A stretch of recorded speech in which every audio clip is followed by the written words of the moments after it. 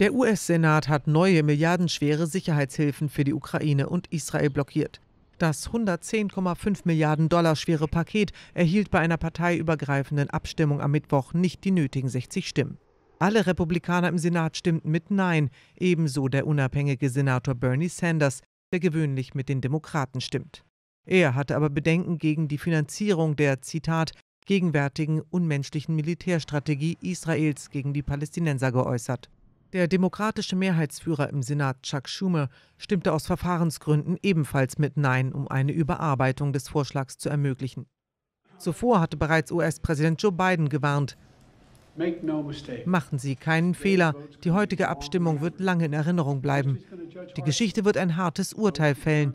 Wir können nicht zulassen, dass Putin gewinnt. Die Demokraten argumentieren, eine Blockade des Gesetzes würde sowohl den Gegnern als auch den Verbündeten der USA signalisieren, dass die Vereinigten Staaten nicht hinter ihren internationalen Partnern stünden.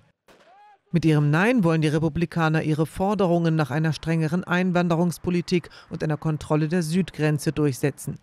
Zudem fordern sie mehr Rechenschaftspflicht für ins Ausland fließendes Geld der amerikanischen Steuerzahler.